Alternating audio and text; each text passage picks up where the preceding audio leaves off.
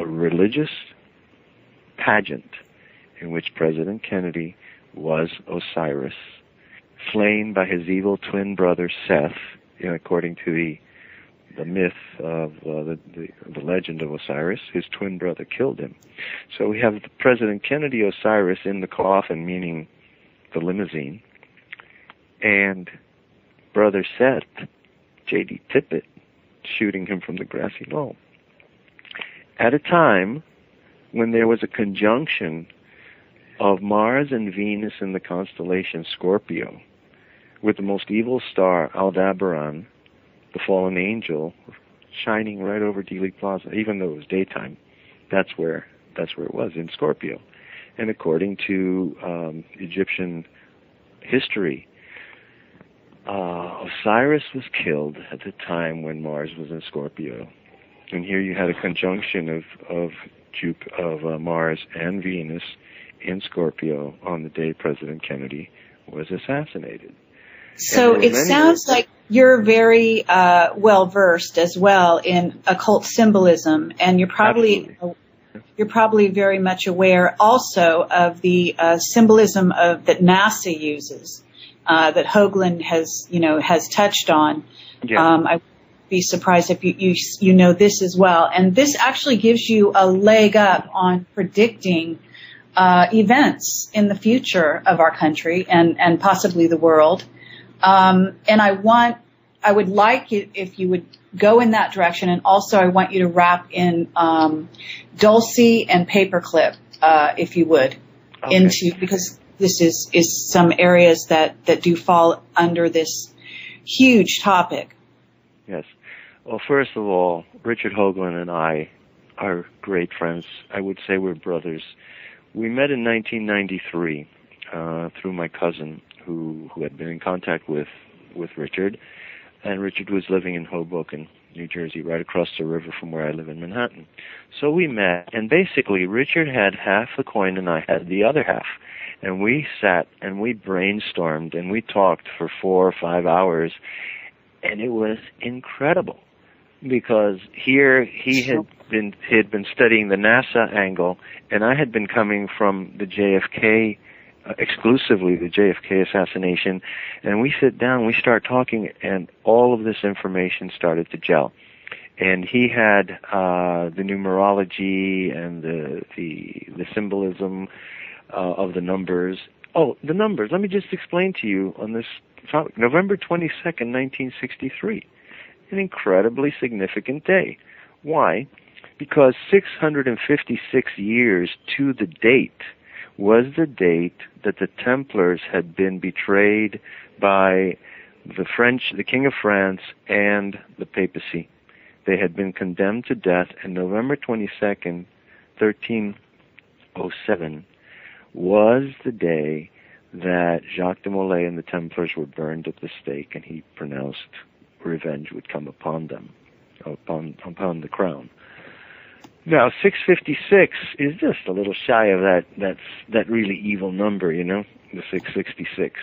But when you look at the numerology of 11, 22, 1963, you add them up, they add up to 10. So that 10 supplies the missing 10, the missing decade for, to make that date uh, equal to 6, 666.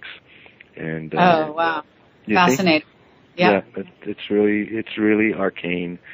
Another It thing, is. Another thing. This event uh, was also followed. Uh, 1307 uh, was a year of uh, peasants' revolt, and the peasants' revolt in England sought to establish to displace the king and to establish this ideal society which was called dot dot dot the Great Society. So in comes Lyndon Johnson after Kennedy's eliminated and put him in the White House, and what's he going to set up? The Great Society. And the significance of this is this was dealing with Wat Tyler's revolt and Wat Tyler's uh, troops um, rampaged through the countryside, uh, terrorizing the country. But they had a really special uniform. They wore white robes with white pointed woolen hats. That was the first time the livery of the Ku Klux Klan was seen in history.